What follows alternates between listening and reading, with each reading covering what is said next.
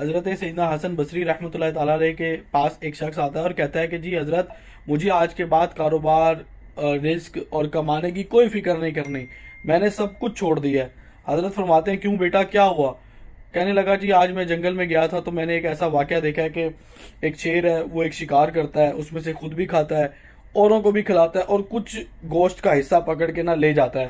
میں اس کے پیچھے جاتا ہوں تو وہ حصہ نہ جا کے ایک پہاڑ پہ لومڑی ہوتی ہے، اس کے آگے رکھ دیتا ہے۔ اب لومڑی جو ہوتی ہے، وہ لومڑی دونوں آنکھوں سے اندھی بھی ہوتی ہے اور لنگڑی بھی ہوتی ہے۔